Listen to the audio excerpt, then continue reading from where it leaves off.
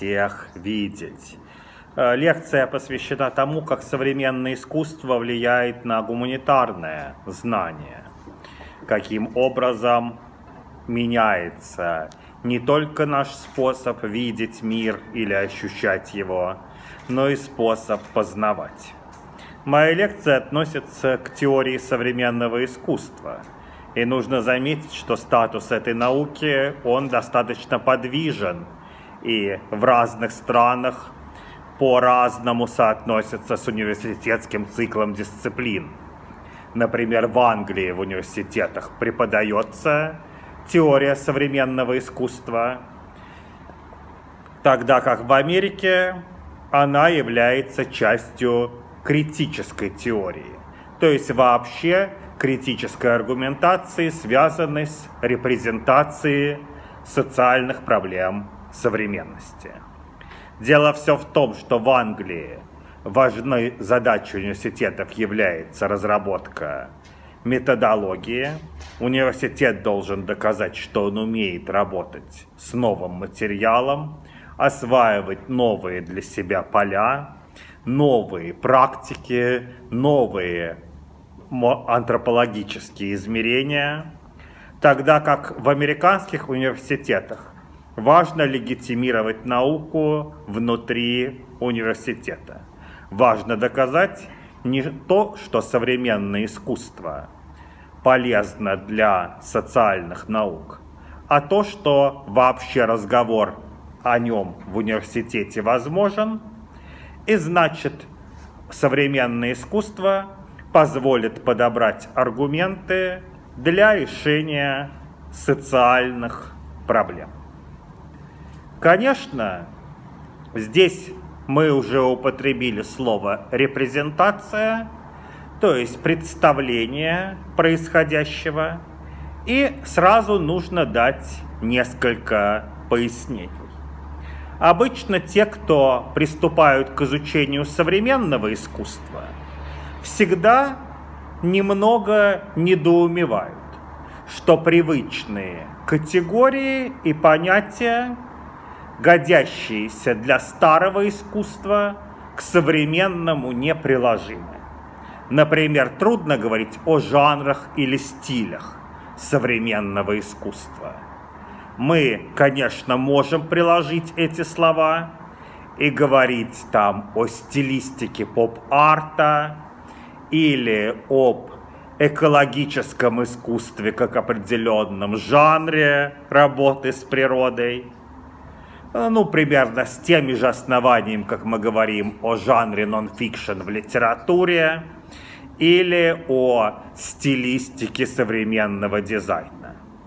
Но мы все равно ощущаем, что эти слова, очень хорошо годящиеся для старого искусства, не работают с современным искусством. Почему так происходит?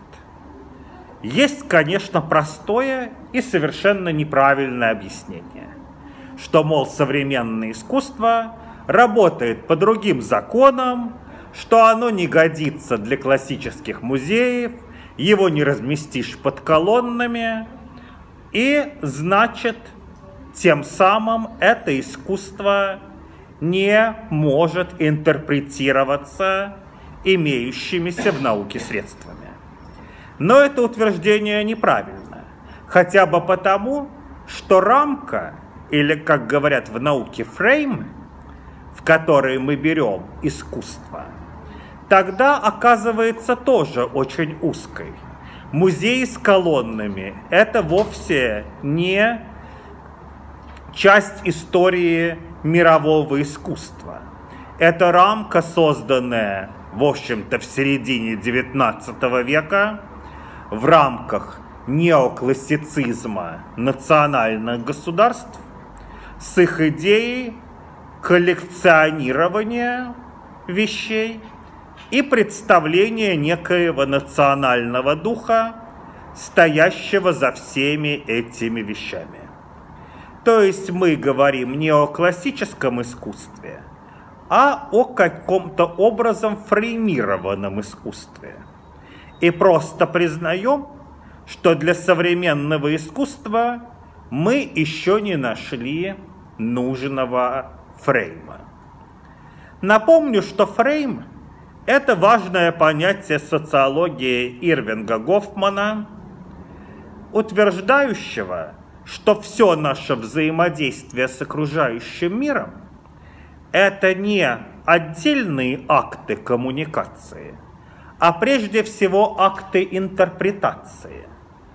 И причем мы интерпретируем и то, что происходит, и себя интерпретируем. То есть нет ни одного социального действия, будь то, например, помощь, участие в политике, насмешка, сочувствие, которые не были бы каким-то образом фреймированы. То есть взяты уже в рамку интерпретации. В одной рамке сочувствие будет милосердием, в другой просто симпатией, в третьей слабостью, в четвертой нормой коммуникации, а как такового сочувствия или эмпатии вообще нет, пока оно не фреймировано. Когда многие говорят, что, мол, мы понимаем старое искусство, но не понимаем современное искусство, они просто имеют в виду, что для старого искусства нашелся подходящий фрейм. Например, учебник, в котором иллюстрируется все произведениями старого искусства который и оказывается тем ресурсом интерпретаций, на который можно ссылаться как на авторитетный. Напомню, если мы возвращаемся ко временам реализма, самый известный манифест эмпатии, которую вызывает старое искусство. Рассказ Глеба Успенского выпрямило – в этом рассказе школьный учитель Тяпушкин, угнетенный жизнью, увидел Венеру Милосскую в Лувре и, наконец, почувствовал себя не угнетенным, не униженным и обрел новые силы для жизни. Казалось бы, описывается универсальное действие искусства. Но на самом деле история Тяпушкина этим не заканчивается. Он понимает, что просто встреча со скульптурой выпрямлять его не может. И отказывается от второй встречи с самой скульптурой. Зато он размещает фотографию этой скульптуры, то есть определенную интерпретацию. Например, фотография – это документ, как бы охранная грамота, как фотография на паспорт. И поэтому Тяпушкин, глядя на фотографию с Венерой Милоской, не просто восстанавливает в памяти какие-то эмоции и заново их переживает и заново выпрямляется, а как бы выдает себе документ. Вот тебе паспорт, вот тебе грамота на полноценное право чувствовать себя человеком. То есть даже реалисти, как бы реалистическое понимание искусства, которое имелось в виду человеком второй половины XIX века, нуждается во фреймировании и нуждается в особом медиуме, который может весьма отличаться от способа производства самого произведения искусства. Что такое тогда фотография? В общем-то, фотоискусства еще тогда не было. Фотография рассматривалась как научный и документирующий инструмент. Полицейская или биологическая фотография. Если мы вспомним классическую статью Вальтера Беньямина «Краткая история фотографии». И, значит, и поэтому к фотографии могли бы быть отнесены те слова, которые часто высказывают рук броня современное искусство. Я тоже так могу. Разумеется, любой может сделать в музее фотографию Венеры Милосской. Но учителя Тяпушкина почему-то продолжает исцелять и ободрять только эта фотография. И оказывается, что другой так не может. Когда я слышу «я тоже так могу», я обычно предлагаю просто сделать копию это любого произведения, что если вы сделаете хорошую копию, я поверю, что вы тоже так можете. Но почему-то как раз хороших копий э, произведений, например, абстрактного экспрессионизма, даже меньше, чем хороших копий старых мастеров. Потому что мы примерно уже представляем секреты ремесла старых мастеров, но вот это явление неожиданного медиума, неожиданной рамки, неожиданной среды, которая вдруг и является творческим актом, вот это воспроизвести оказывается гораздо труднее. Мы говорили о Тяпушкине и Венере Милосской. Но заметим, что эффект этой, э, этой статуи, как и некоторых других античных статуй, был не просто в красоте и пропорции, а в определенном эстетическом скандале, что богиня была изображена обнаженной Сами понимаете, это дерзость и почти скандал, который в античности привел и к популярности и востребованности этих статуй. И более того, Венера Милосская стала каноническим образцом античной красоты именно благодаря тому, что сначала риторика – осмыслила ее как божественное явление. Потому что вот скандал. Богиня изображена обнаженной. Этот скандал каким-то образом надо замять и решить. И если мы почитаем античные эпиграммы, посвященные Венере Кницкой и другим статуям, видно, как этот вопрос решался. Один, можно было, например, сказать, что Венеру все-таки видели некоторые смертные. Были возлюбленные среди смертных. Следовательно, есть прецеденты. Но тогда сразу статуя становится божественной. Мы видим саму Венеру. Если мы принимаем, что смертные могут видеть не только статую, но и саму Венеру, значит статуя обожествляется, объявляется божеством и в этом смысле и наделяется всеми свойствами божества. Исцелять, спасать, облагораживать и так далее. Либо были другие варианты – более изощренные и, как бы мы сказали, софистические. Например, что не сам там Прокситель или какой-либо еще античный скульптор стал делать обнаженных Венер, а что это резец прикоснулся к мрамору. А резец – это железо,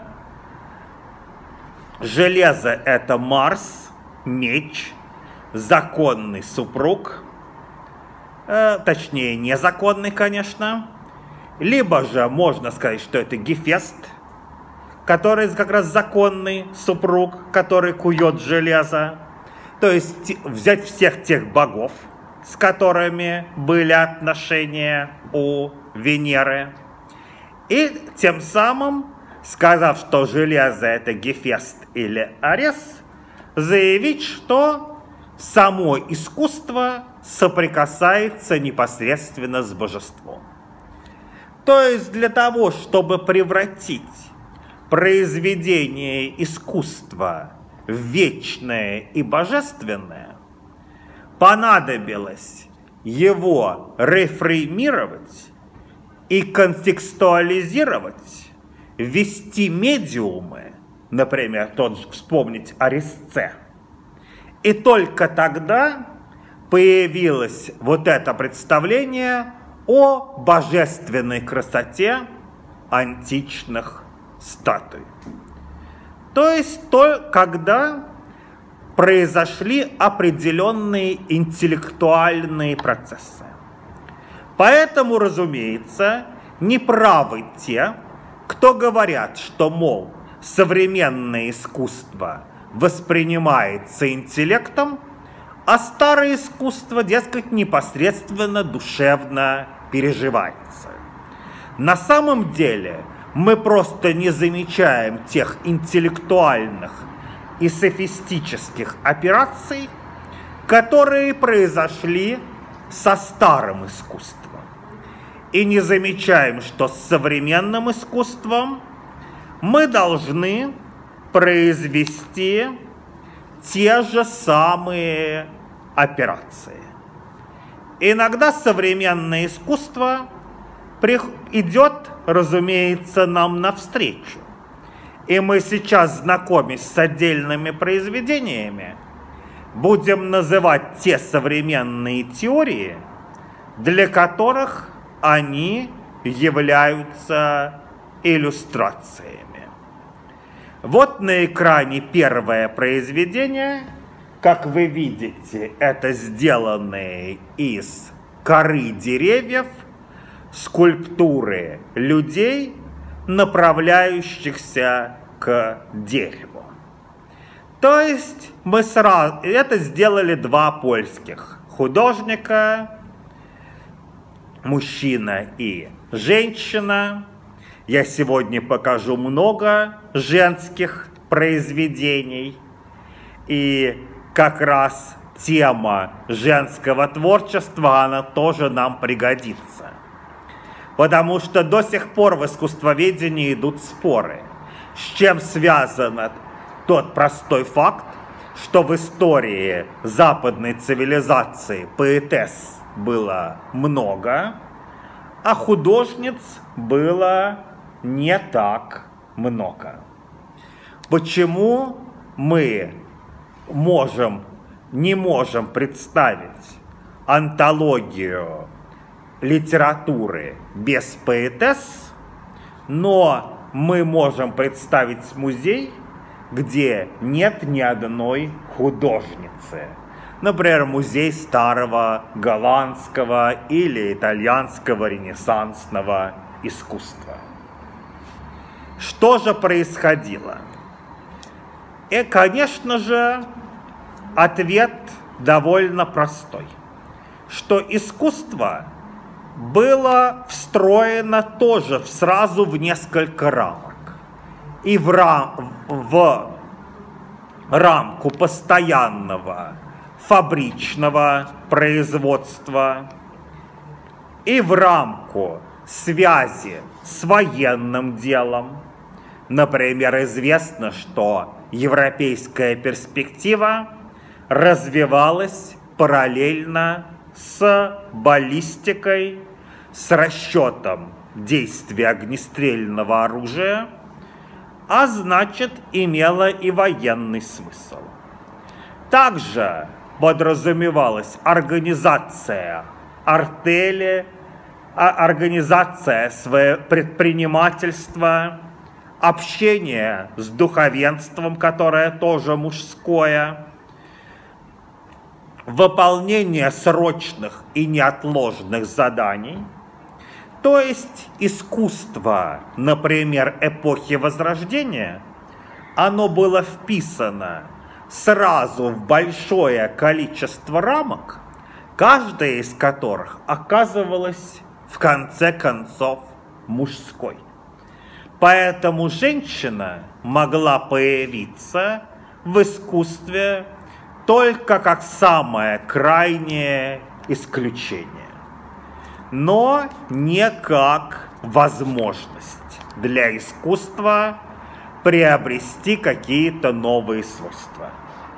Если искусство похоже на армию, на срочное производство, на выезд там, курьера на место, на там, командование войском, и роспись храма делается как спецоперация, то, разумеется, а все, а, все интерпретационные контексты оказываются присвоены мужчинами.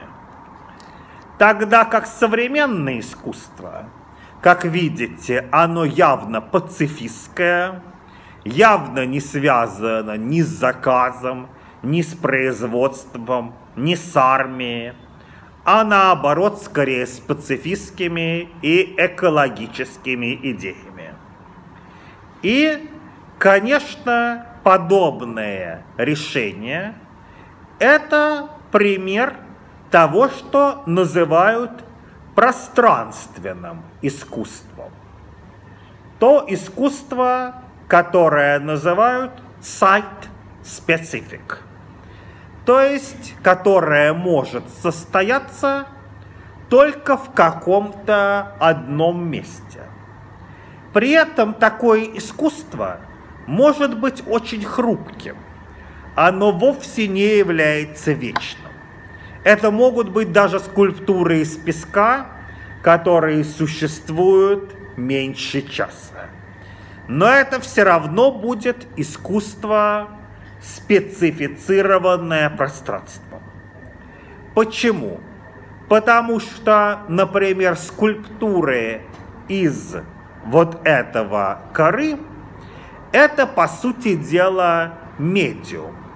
Это способ понять, сколь хрупок человек, сколь человек близок к природе и сколь часто память о человеке не остается. А настоящим произведением искусства оказывается сама ситуация этой площади. Что вдруг мы начинаем осознавать город как носитель памяти. Это соответствует целому ряду социальных идей. Например, идеям Мишеля де Серто и Пьера Нора о современных больших городах как местах памяти. То есть как о том, об определенном произведении искусства – лабиринте, по которому ты проходишь и можешь собрать память о произошедшем. Понятие места памяти означает, что мы можем, например, не опознавать отдельных знаков. Например, что этот дом был разрушен в войну, а потом восстановлен. Но город, как некое целое, напоминает и о войне, и рано или поздно мы догадаемся, что, например, город подвергся большим разрушениям в войну. И места в этом городе, которые нам казались простыми местами, оказываются местами памяти. То есть это в некотором смысле напоминает трагические сюжеты. И, прежде всего, сюжет Гамлета. Гамлет почему и одновременно мстит, но вроде бы как ведет нерешительно себя. Потому что он оказывается на месте преступления. И он является носителем не только возьми акта возмездия, не только действия, но и памяти об этом совершенном преступлении.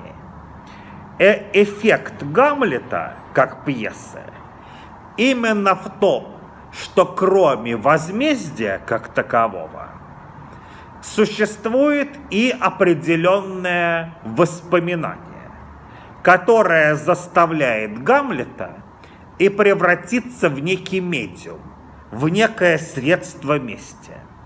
Он мстит не потому, что решил мстить, а потому что в такой тошнотворной ситуации он не, не мстить и не действовать безрассудно просто не может.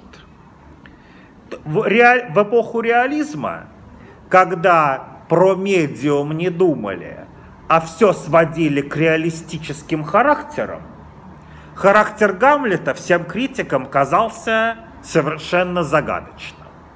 Кто он такой? Сумасшедший, гений, мститель, э, трус. Определить характер Гамлета оказывалось совершенно невозможно. Но мы, владея опытом модернистского и позднейшего искусства, можем сказать, что это за характер. Что характером обладает на самом деле ситуация. А Гамлет это такой тайнозритель, медиум, такая фотография происходящего, типа полицейской фотографии, по которой рано или поздно все будут арестованы. Это Гамлет не мститель, но и не орудие мести, а медиум, такой свидетель, такая рамка, в которую вся ситуация берется, так что мы понимаем, что на самом деле происходит в мире.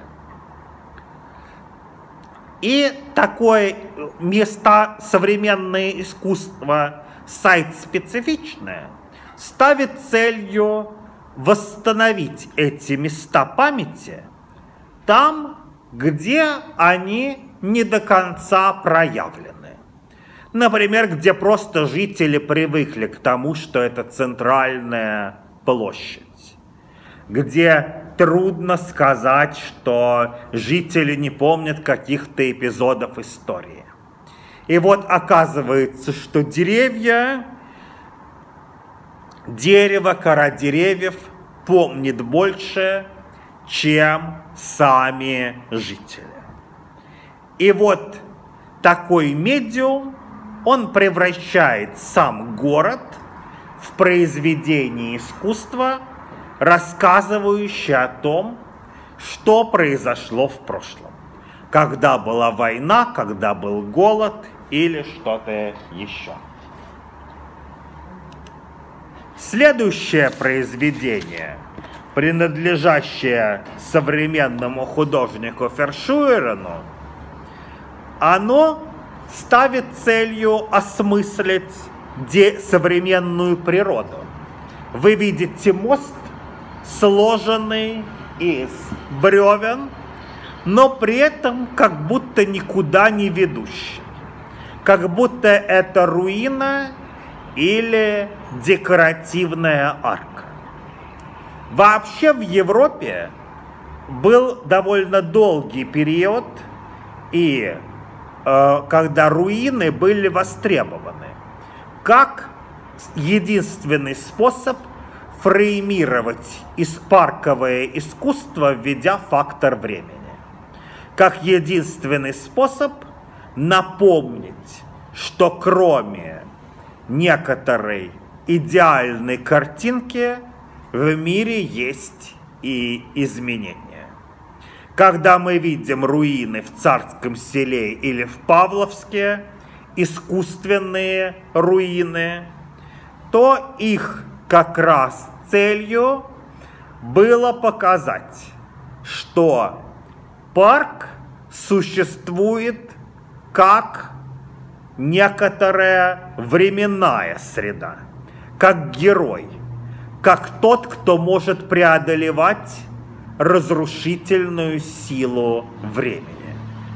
Это был способ героизации парка не менее сильны, чем героическая символика. Можно парк обнести ограды с щитами и фасциями, а можно поставить руину. Но и там, и там будет патетическая героизация парка. Понимание, что подвиг преодолевает время и остается бессмертным. В этой работе, конечно, выразились идеи современной экологии. И это перед нами типичный эко-арт, то есть искусство, показывающее, как природа проявляет сама себя. Благодаря эко-арту сформировался целый ряд научных теорий, в том числе и в биологии, и в социологии, и во многих других дисциплинах. Назову только несколько. Э, просто книги, которые выходили по-русски. Это «Интернет животных» Александра Пшера, немецкого теоретика, в которой он показывает, что современные нейросети не полны, если мы не введем туда животных, то есть обладающих собственной волей и собственным чутьем существ. Люди легко встраиваются в интернет и начинают доверять интернету свои чувства.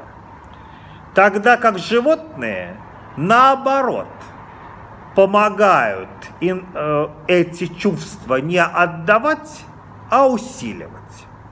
Например, животные могут чувствовать приближающееся землетрясение и не просто предупредить о нем, а отладить работу нейросети так, что она будет эффективнее передавать информацию и найдет способ наилучшего поведения для всех во время землетрясения.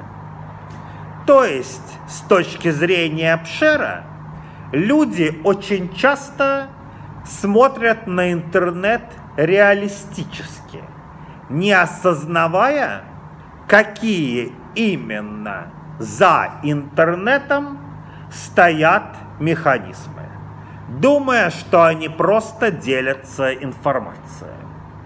Тогда как если животные подключаться к интернету, то это действительно будет усиленный голос природы. Действительно, природные инстинкты будут не натурализовываться нами, а наоборот служить лучшей передаче информации. Беда в нашем реализме и натурализации вещей. И выход как раз в Пшера, как и все теоретики, вдохновляющиеся эко-артом, находят в э, таком антиэссенциализме. Они говорят, что неподвижных сущностей не существует. Что существует только вот эта чуткая работа, превращающая что-то в медиум.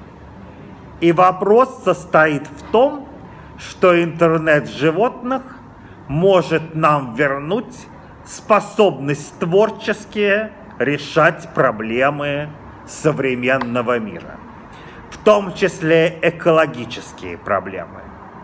Так и в этом произведении Ферчуэрена.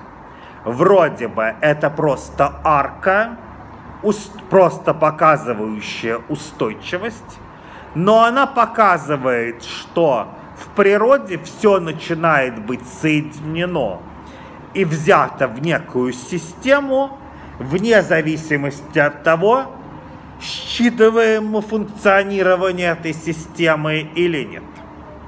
Например, нам кажется, что животные движимы только своими инстинктами. Самосохранение, размножение, питание. И в этом смысле принадлежат миру Фатума. Но более внимательное исследование показывает и взаимопомощь животных, и их способность э, информировать друг друга и формировать окружающую среду. Так и здесь.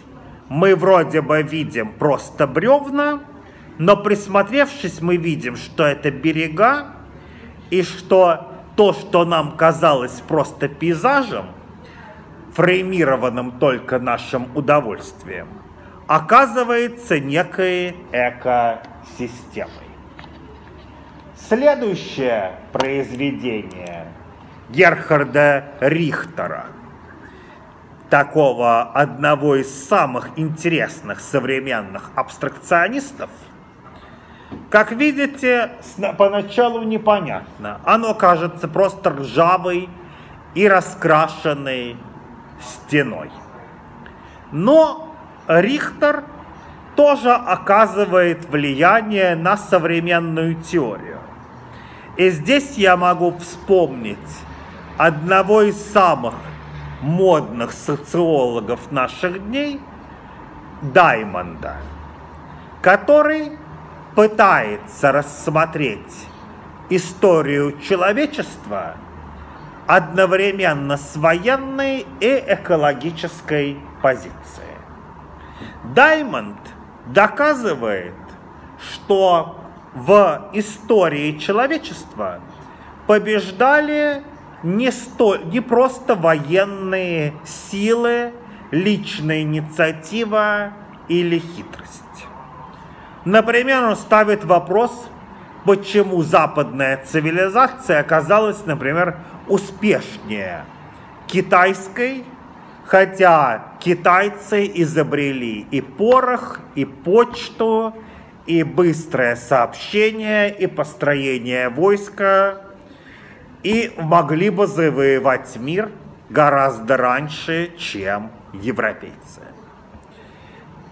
Даймонд считает, что неправильно объяснять это какими-то особенностями характера или поведения, каким-то народным духом. Все это будут ложные объяснения. Поэтому он предлагает свой собственный вариант. А именно, что на самом деле вопрос стоит о биологической живучести. И выдвигает он собственную версию. У сельскохозяйственных народов была потребность хранить урожай вместе и, значит, собираться вместе в поселения и города. Это означает, что люди начинают чаще заражать друг друга, распространяются эпидемии, но у следующего поколения вырабатывается просто устойчивость к этим эпидемиям. И значит, куда приходят люди, после имеющие за спиной опыт выживания многих поколений, то есть опыт адаптации, там они фактически действуют биологическим и химическим оружием. Поэтому европейцы так легко завоевали Америку. Не столько силой огнестрельного оружия, сколько просто неся с собою чуму и другие, оспу и другие болезни. То есть для Даймонда получается, что история человечества – это экологическая история – это история создания некоего экологического сообщества, которое тем самым создает угрозу для соседних сообществ и как грибница распространяется по всему миру. И вот как раз у Рихтера тоже основная идея – это выяснение стойкости материалов.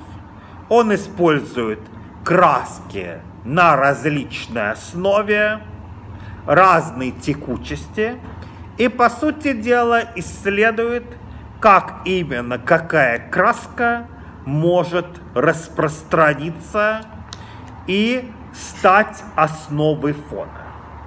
То есть это тот же опыт, который ставят, например, в биологических лабораториях. Как, допустим, действует антибиотик или как размножаются колонии бактерий. Только применяются не специальные биологические инструменты, а инструменты чистой репрезентации. Чистый холст или лист металла.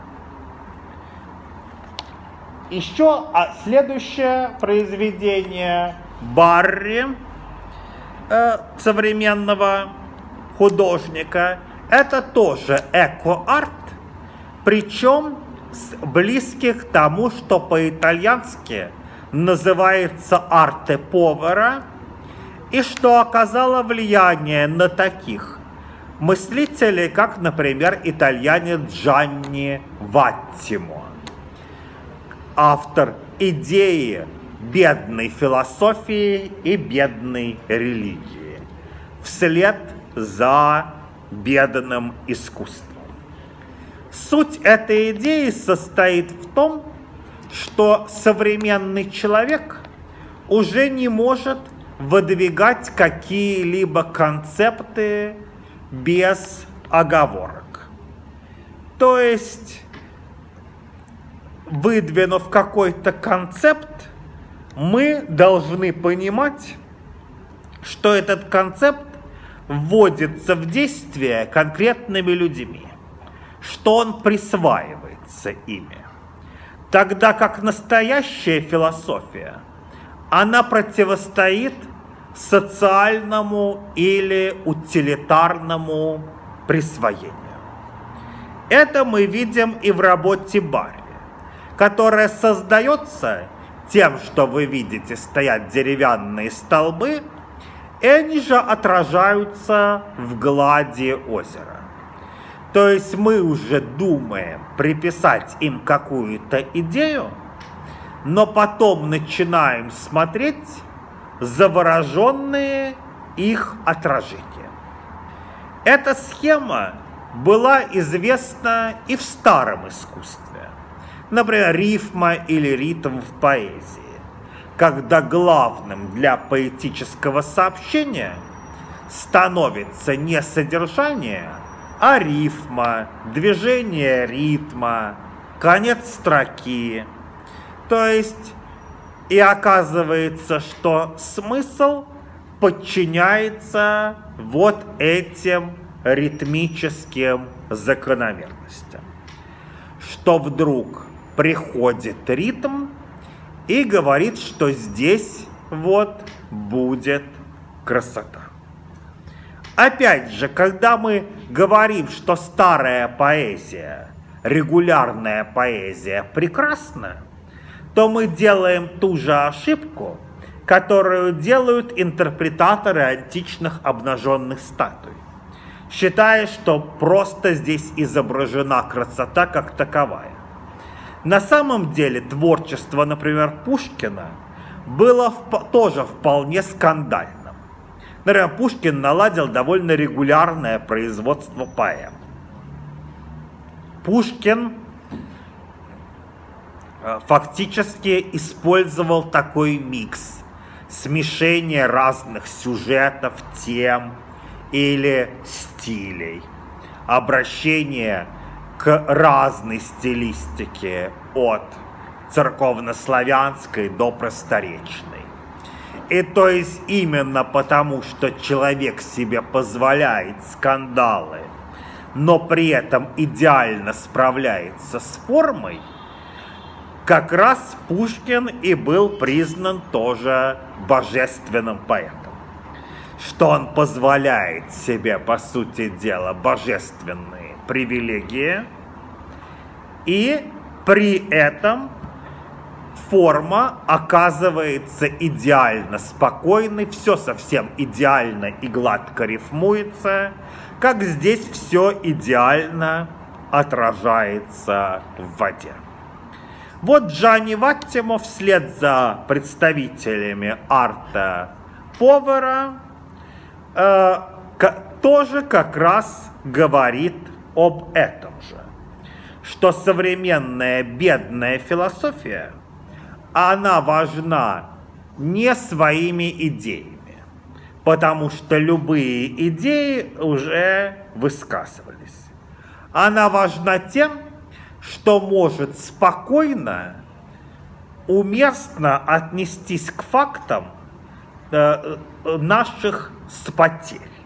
Что, например, время течет, в истории было много, совершено много ошибок и так далее. И возможность просто признать, что это наши ошибки, наши упущения, наша недостача, то есть отразить как бы все эти ошибки и недочеты, это уже и есть философия. Дальше покажу одного из самых дорогостоящих современных художников, современного поп-артиста Джеффри Кутса, который делает, э, он совершенно скандальный и легкомысленный мастер, делающий скульптуры из воздушных шариков, или так просто берущий статую, приделывающий шар и говорящий, что это дорогостоящее произведение искусства. И, конечно, у Кунса есть свои противники, которые говорят, что же он такое делает. Я тоже могу шарик надуть и сказать, что это великое произведение искусства. Но на самом деле Кунс тоже по-своему мыслит адаптацию и выживание.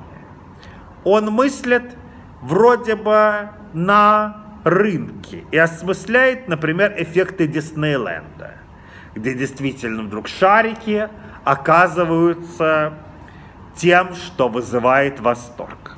Но в связи с ним я могу вспомнить и некоторые современные теории. Например, недавно тоже в русском переводе вышла книга огромная одного из э, группы, на самом деле это групповое творчество, под названием инсектология, то есть наука о насекомых. Где как раз выяснялось, что для изучения насекомых недостаточно просто исследовать эволюционные адаптационные механизмы.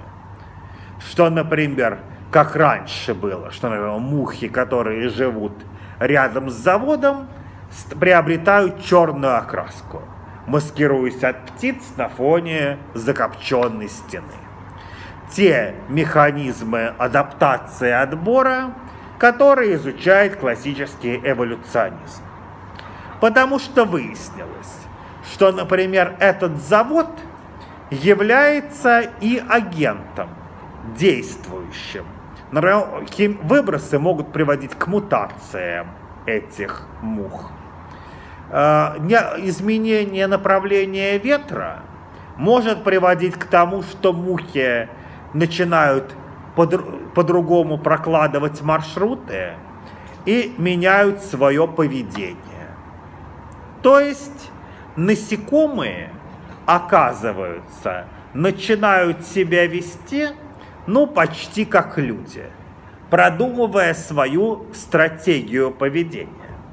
Но при этом насекомые легко мутируют, поскольку как раз мутации в мире насекомых, они более распространены, чем, например, в мире млекопитающих. Следовательно, эта инсектология, наука о поведении и одновременно внешнем виде насекомых, как раз исследует, как искусство может отвечать на производство.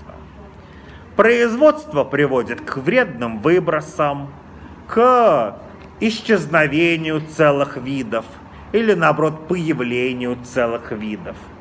То есть каким-то поражающим наше воображение эффектом.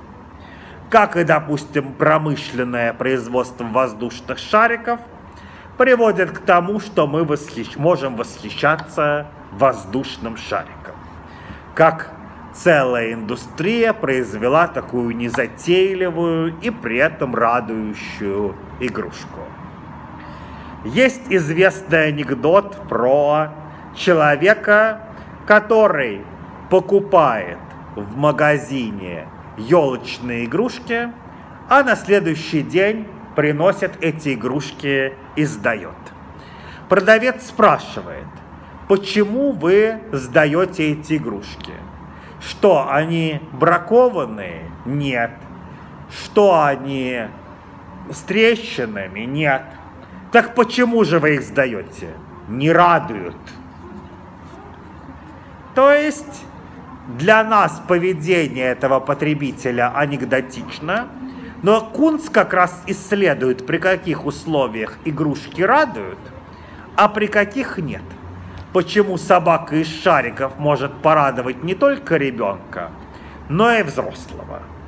И согласно Кунсу, и согласно теоретикам инсектологии, она радует именно тем, что человек выжил, что мы дожили до взрослого состояния, что мы, работая на производстве, вовлеченные в городское производство, можем радоваться простым вещам и, допустим, статуя воспроизведена с помощью трехмерного принтера, является промышленной копией, но при этом мы радуемся, что на ней вдруг появился шарик. Как насекомые, согласно инсектологии, радуются, что хотя завод их может уничтожить, они прокладывают новые пути своей жизни. И здесь как раз можно вспомнить, что ведь античные статуи до нас дошли тоже в римских копиях, причем довольно плохих. Потому что, например, греческие ключевые статуи, они были из бронзы, покрытые золотом, слоновой костью, потому что богам надо отдавать лучшее. А римские копии, они из мрамора делались, то есть это паденная такая подделка. Как сейчас сложить, сделать там на 3D принтере или из э, там какого-нибудь гипса копию чего-то. Но при этом почему-то любители искусства полюбили эти дешевые подделки. Почему так произошло? Да потому что от античности кроме самих статуй дошла и литература, в которой как раз объяснялось, что эти статуи исключительны, что они связаны с самой функцией воображения. В греческом языке, например, слово «плазма» означает и ваяние, наша пластика, и воображение и работа воображения ассоциируется с работой скульптора. Поэтому люди, которые полюбили, например, чтение романов, они же полюбили и рассматривание этих античных статуй. И чем больше развивался роман, по сути дела тоже такой фабричный вид литературы – то есть то, что производит в массовом порядке, тем больше развивалось рассмотрение античных статуй. По сути дела, Кунс делает то, что, например, сделал с романом Достоевский. Что такое роман журнальный? Бульварное чтиво, по сути дела. То, что люди читают на досуге.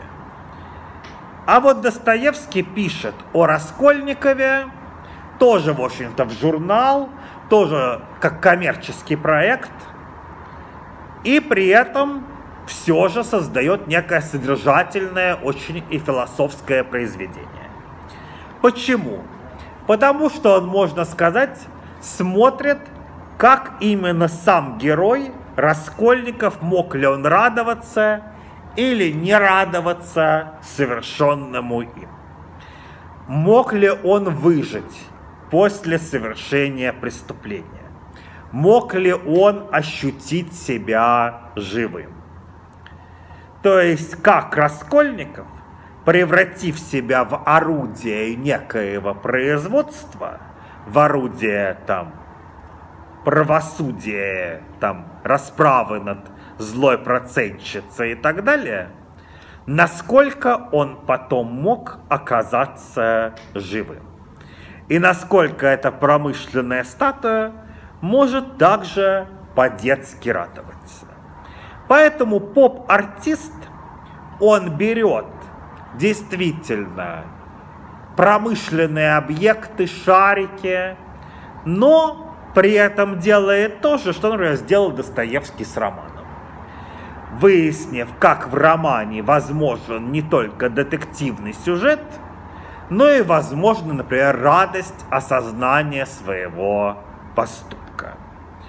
Как, допустим, по инсектологии насекомые, которые приспосабливаются к жизни на заводе, они, по сути дела, осмысляют завод как жизненный мир, как мир, в котором они могут активно жить. Следующее произведение. Это произведение э, под, э, под, э, по, произведение, которое, как видите, представляет собой искусственную реку, это газ. Я сейчас буду показывать экологическое искусство, искусство художниц. И, как видите, это такая имитация реки, естественным образом текущей, с помощью вот такой полоски ткани. Казалось бы, Здесь делается то же самое, что у Рихтера. Показывается, как природа функционирует сама собой. Но здесь вводится, заметьте, искусственный объект. И, конечно, это пример того, что стало в социологии называться акторно-сетевой теорией. То, что мы знаем о Бруно Латура. Или же, что мы знаем как сильную программу в социологии Дэвида Блура. То есть представление о том, что искусственный объект, будучи введен в систему, меняет саму систему. Даже если он не искажает никакой отдельный предмет данной системы. То есть эта полоска ткани не повреждает ни одного камня. Она очень бережна. Она просто имитация. Она, можно сказать, нулевой знак, который ничего, казалось бы, не значит. Но, тем не менее, эта полоска ткани меняет всю систему система превращается из статической в динамическую. Как в квантовой теории. Появляется наблюдатель, и вся система меняется. И вот такая река – это одно из тех произведений, которые вдохновляют теоретиков сильной программы в социологии или акторно-сетевой теории. То есть введение точки зрения наблюдателя – который видит ткань, принимает ее за текущую реку и по-новому начинает видеть природу. Это полностью соответствует теориям, в которых наблюдатель не является пассивно воспринимающим искусство, а является агентом этого искусства. Конечно, такая кое вовлеченное положение наблюдателя создавали еще модернисты. Например, скульптор Роден исходил из того, что сам зритель его скульптур будет как бы пританцовывать, определенным образом подходить. Или, например, художник Марк Ротко, он оговаривал, с какого именно расстояния должен смотреть зритель картину, не должен слишком приближаться и так далее. То есть подразумевался определенный сценарий поведения наблюдателя, при котором запускаются и сценарии самого искусства. А это как раз очень важно для современной социологии, потому что современная социология должна отдавать отчет в том, какова позиция наблюдателя. От нее может зависеть полученный результат. Напри... Простой, например, пример. Социальные работники в Западной Европе, работающие с беженцами, постоянно сталкиваются с тем, что они не могут контролировать поведение беженцев. Например, им дают деньги на покупку холодильников, а они посылают деньги своим родственникам в, там, в Афганистан или в Африку, или как-то объединяют, то есть ведут себя не так, как предусмотрено сценарием.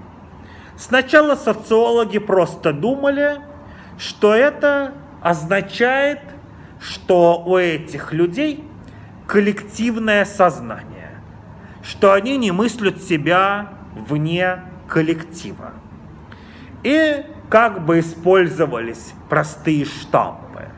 Вот у нас на Западе индивидуализм, каждый ставит холодильник и телевизор в свою квартиру – а там у них коллективизм, они только всем племенем могут там распоряжаться деньгами. И пытались начать перевоспитывать беженцев, обучая их вести себя как индивидуалисты. Но из этого ничего не вышло. Беженцы могли адаптироваться к такому индивидуалистическому поведению, но никогда они не расставались с этим поведением. И потом выяснилось, что на самом деле это связано и с, с их вовлеченностью в сети. Что, например, деньги для них – это подарок. А подарок для них – это род жертвы. То есть им пожертвовали европейцы, например, деньги на холодильник. Они считают, что это означает, что европейцы принесли им жертву. При этом, если начинают их воспитывать в них индивидуализм, они начинают чувствовать себя объектом, жертвой. А чтобы не быть жертвой, нужно принести следующую жертву, то есть отдать эти деньги родственникам. То есть в результате оказалось, что просто вовлеченность в сети и деньги и холодильники оказываются для них частью сетевого взаимодействия, а не просто неким достоянием и некой ментальной конструкции, приводит к тому, что они по-другому вести не могут себя. И чем больше отдают им деньги, тем больше они вместо покупки холодильников отдают им их бедным родственникам. То есть это связано с ролью жертвы и пониманием денег как подарка. А холодильник, в свою очередь, например, для них является тоже частью некой системы. Например, системы, в которой существует планирование на несколько дней вперед. И эта система как раз, но для них планирование на несколько дней вперед всегда подразумевает совещание с другими. А как посовещаешься, если ты еще не отдашь им какие-то вещи? Для них совещание с другими подразумевает и определенный обмен вещами. Так, соединив антропологию, теорию коммуникации, теорию медиа и акторно-сетевую теорию, удалось все-таки установить, как именно правильно надо общаться с беженцами. И вот как раз такие произведения, они вдохновляют на понимание того, почему вроде бы нейтральная вещь, вроде денег или этой полоски ткани, которые вроде ничего не меняют в вещественном мире, холодильники вроде все на месте, деньги вроде тоже их количество никуда не девается. Но почему система оказывается неустойчивой? Это стало очень важно как раз в связи с введением, например, криптовалют, которые являются принципиально неустойчивой системой и как бы обладают собственной волей. Как себя поведет биткоин, мы дальше не знаем. И вот как раз художница Луиза Буржа, создающая таких пауков, она как раз тоже об этом думает.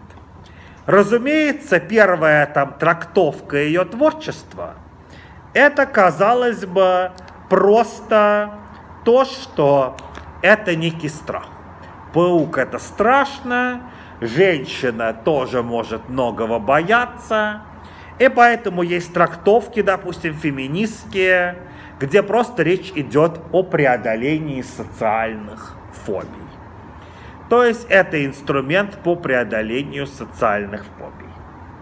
Но есть, конечно, так трактовать можно. Это примерно настолько же законно, как говорить о том, что там картины Тициана – это про то, что, крас... така... что нужно сделать все красиво. Это трактовка того же уровня. И, значит, э, э, при этом нужно заметить, что, допустим, если бы Тициан, когда, например, люди говорят, что старое искусство было профессиональнее, а современное искусство я тоже так могу, я уверяю, что если бы Тициан увидел половину того, что в Русском музее выставлено, он бы сказал, что это просто низкопрофессиональные художники, которые не знают анатомию лошади, там, не знают, не умеют правильно сделать нюансы и так далее. Потому что, разумеется, худо... русские художники конца 19 века выполняли собственные задачи внутри новых фреймов. Например, ускорение жизни, потребующие некоторой халтуры в работе. Поэтому лучше подумать над тем, что наша Луиза Буржуа делает на самом деле. На самом деле все эти пауки очень большие. Они могут быть размером в несколько этажей. И, конечно, здесь имеется в виду другое. То, над чем думает тоже современная социальная наука, а именно и о позиции наблюдателя, которую мы затронули в связи с Латуром, и о позиции, собственно, что во что оказывается вписано. И по, по позиции так называемых социальных метафор. То есть, допустим, мы очень часто используем, например, метафоры. Например, город как сеть взаимодействий. Есть понятие в социологии ментальная карта. То есть то представление о городе, которое у нас есть в уме. Здесь, например, дом, работа, там магазин и так далее. Эта карта может отличаться от того, что является общей картой. Но ментальные карты индивидуальные. А что общее у нас? Ну, некий страх и неуверенность, наверное. И вот Луиза Буржуа ставит целью создать некоторую такую в виде этого паука, как бы ментальную карту представлений современного человека о, соци... о социальном, этим самым показать, что может быть не индивидуальным опытом, что это может быть опыт – как раз преодоление страха. Видение того, что у другого человека есть подобные страхи, и значит страхи могут быть вынесены за скобки.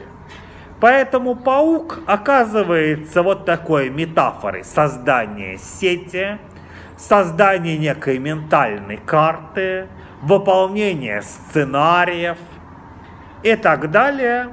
То есть метафоры всего того, что индивидуализирует человека в современном большом городе. И цель, конечно, показать, что современного человека может деиндивидуализировать. В старом искусстве такую роль, например, выполняли памятники. Вот на центральной площади стоит памятник полководцу, все его знают – он оказывается каким-то таким общим знаменателем, и все знают, что у нас на центральной площади стоит там памятник полководцу. Он наше общее достояние, он часть нашей истории, и мы можем собрать наш общий мир горожан вокруг этого памятника.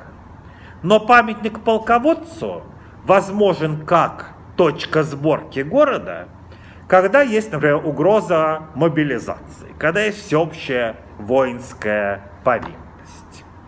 Тогда как в ситуации современного города, в ситуации, которую социологи называют номадической, то есть когда в городе много приезжих, когда нет постоянных жителей города, такая пересборка города уже невозможна вокруг вот таких монументальных символов. А вокруг, как ни странно, страхов оказывается возможно. То есть страх, конечно, был тоже вмонтирован и в старые памятники. Ясно, что полководец на коне должен быть немножко страшным. Но и Евгений испугался медного всадника все-таки. Это был страх самый настоящий.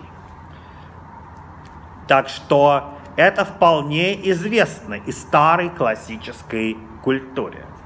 Но вопрос в том, что сейчас ситуация, как я сказал, которую социологи называют номадической ситуацией.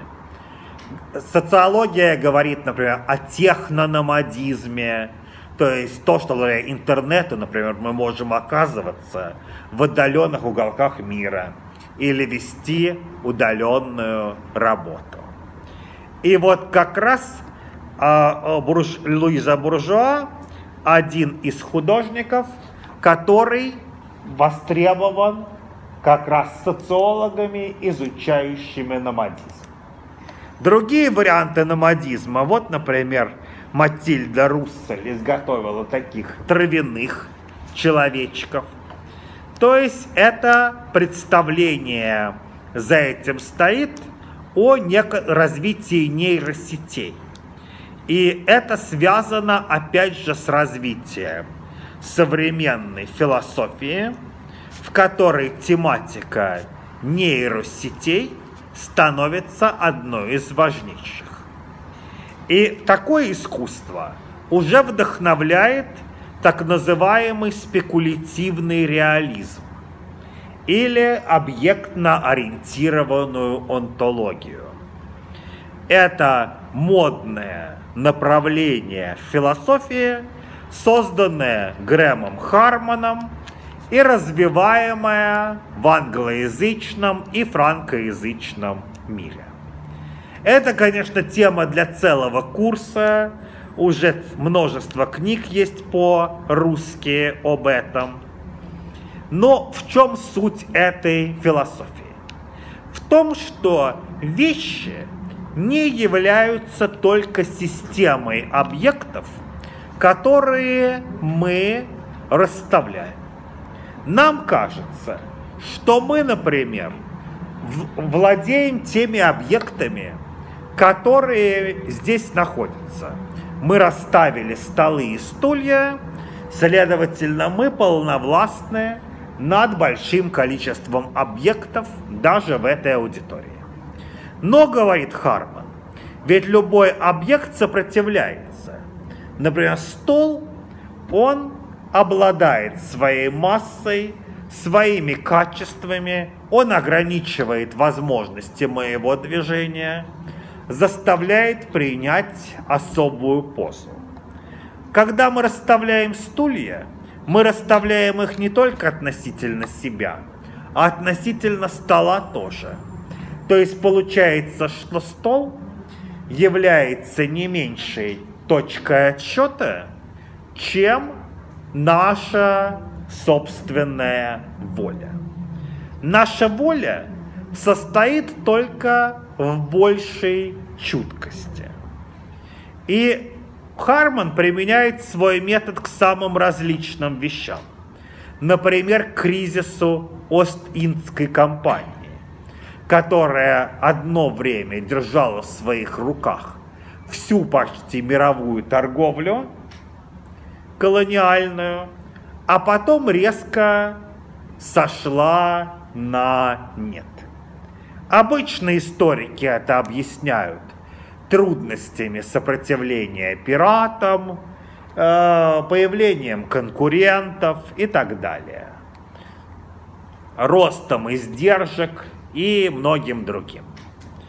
То есть вводят разные экономические определения. Харман предлагает рассмотреть Ост-Индскую компанию как определенный самореализующийся организм, который, э, по сути дела, существовал, а потом сломался и сломал до некоторой степени людей, которые в нем участвовали, затруднил им деятельность например, перестроил финансовую систему, кредитную систему, кредиты стало брать труднее, и в результате оказалось, что Ост-Индская компания – это и есть субъект, который командует людьми. Другой пример – это история, например, с насосами в Зимбабве, когда для того, чтобы наладить водоснабжение, в страну было завезено множество насосов. Казалось бы, это просто, ну, появилась новая техника. Но оказалось, что эти насосы изменили все в стране, и политику, и экономику, и культуру. Потому что насосы нужно обслуживать. Для этого требуется другая культура труда. Насосы они расставляются в разных деревнях. В результате деревня становится из места обитания племени чем-то вроде гражданской общины, такой ячейкой и так далее. То есть стало выясняться, что механизмы или вещи не просто меняют наш мир, а обладают собственной чувством. То есть то, что вещи меняют мир, это было известно давно. Вроде там коммунизм – это электрификация всей страны. Вроде бы это план ГЛРО мало чем отличается от зимбабвийских насосов. Он тоже должен был принести цивилизацию, новую политическую культуру и так далее. Вроде бы примерно то же самое. Но есть все-таки разница между ГЛРО и зимбабвийским насосом. Что ГЛРО выпал это план, спущенный сверху, а зимбабвийский насос как бы обладает собственной чувственностью. Это такой нейрон, который сам чувствует и сам начинает производить какие-то импульсы и менять чувственность людей.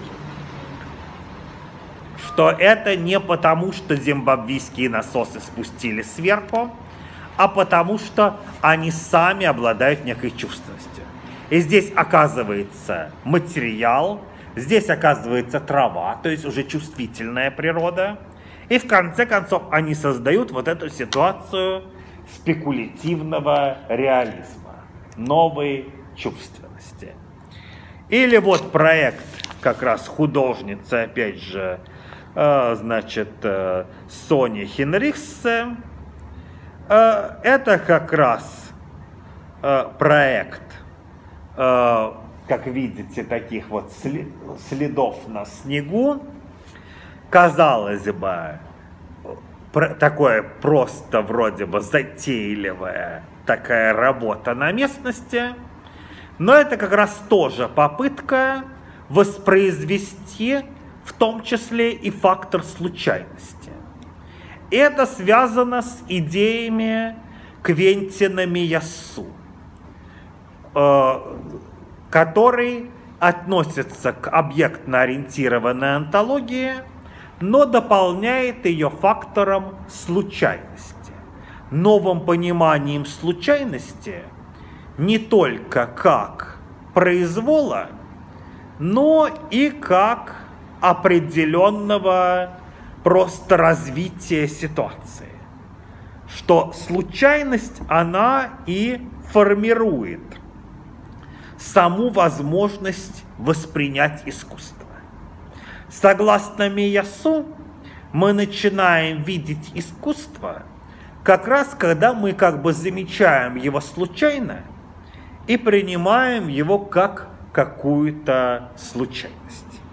То, что очень ценили в модернизме как озарение или эпифания. Чем случайней, тем вернее. Потому что случайность говорит о том, что мы перестаем относиться к искусству как к промышленному изделию, а начинаем воспринимать его как вошедшее в систему и уже деформировавшее ее. Например, выпадение костей. Оно вроде бы случайно, может выпасть две единицы или две шестерки, но уже это выпадение, еще до того, как выпало, оно привело в движение целый ряд механизмов. Например, что все приготовили деньги, как рассчитываться друг с другом игрокам в кости. Все приготовили там считать время, давно ли мы играем в кости или нет. То есть случайность по Миясу не просто приводит механизмы в действие, а приводит их в действие еще до того, как она произошла.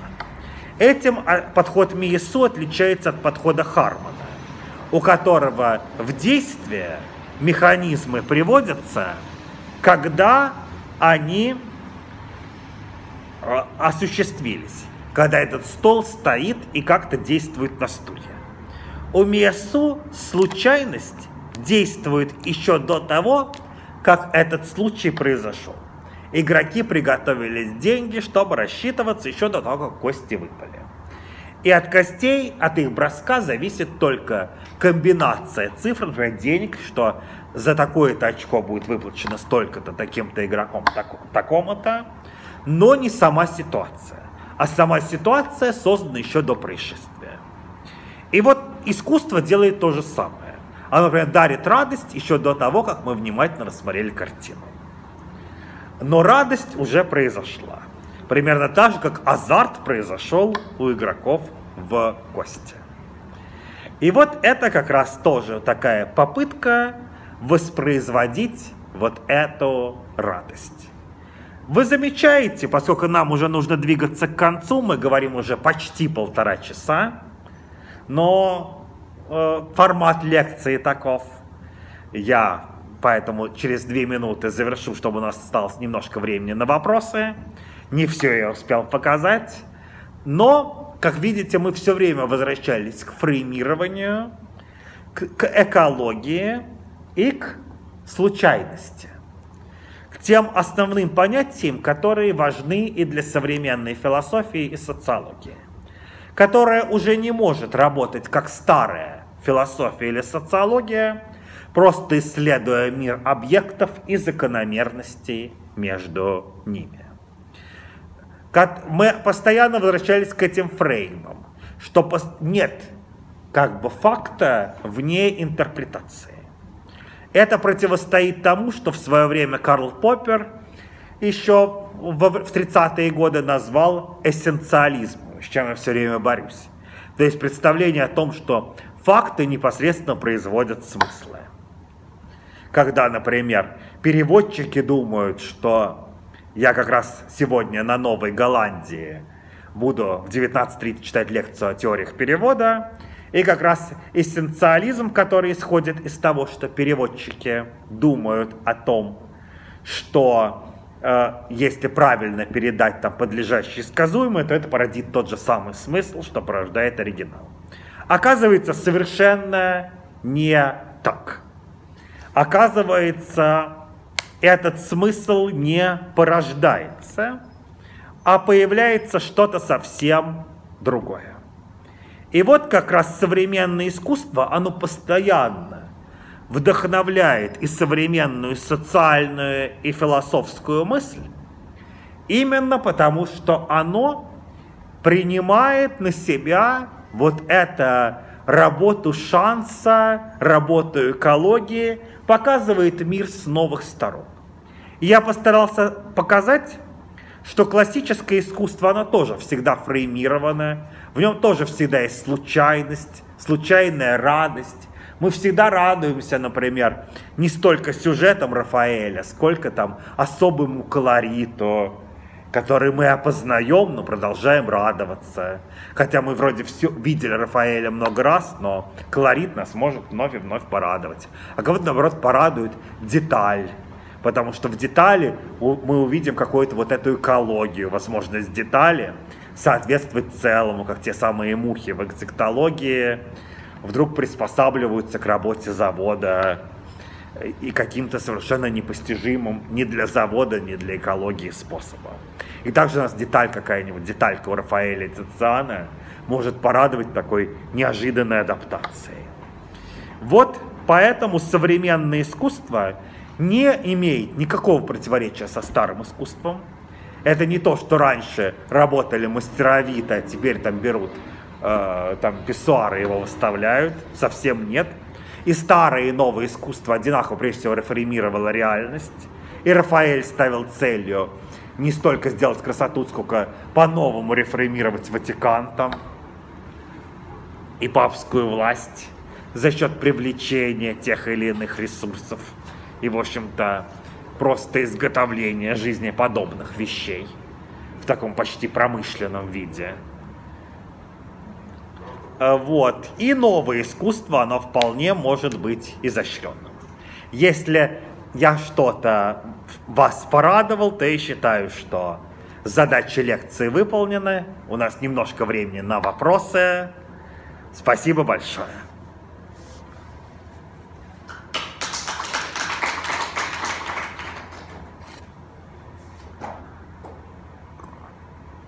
Да. Ну, конечно, вы пробудили много мыслей. Вот.